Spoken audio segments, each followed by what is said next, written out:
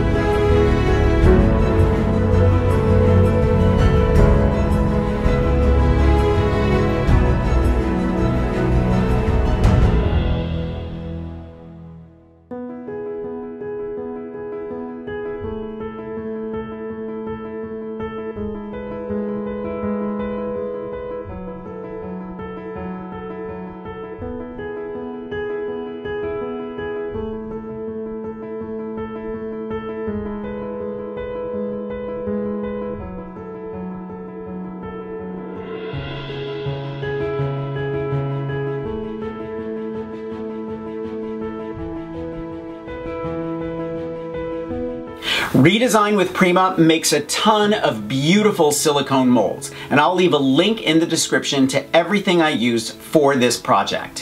Thumbs up if you like this video, leave me a comment and I will get back to you. Subscribe to my channel if you haven't already. Grab a copy of the Big Ass Book of Crafts and I will see you next week. Bye.